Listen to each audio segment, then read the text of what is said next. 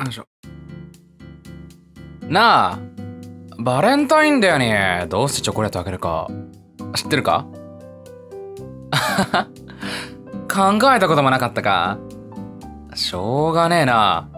じゃあ、教えてやるよ。チョコレートって、熱したら溶けちゃうだろ？で、恋って熱いものだよな。つまりだ、俺とお前、愛し合う二人はまさにチョコレート。俺たちの愛で溶けたチョコレートはドロドロに絡み合い、一つのチョコレートへ変わる。なあ、結婚しよう。